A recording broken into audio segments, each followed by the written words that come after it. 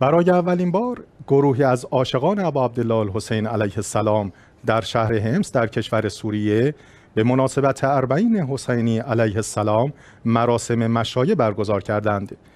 این مراسم از شهر همس تا مرقد متحر حضرت زینب سلام الله علیها در منطقه سید زینب در جنوب شهر دمشق پایتخت سوریه برگزار شد.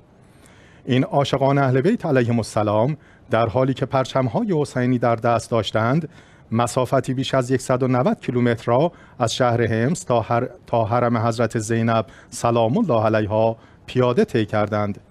لازم به ذکر است با توجه به اینکه هر سال مراسم مشای اربعین رونق بیشتری می‌یابد و به صورت با تر برگزار می شود امسال نیز شهرهای بیشتری در کشورهای مختلف جهان شاهد برگزاری مراسم مشایع بودند.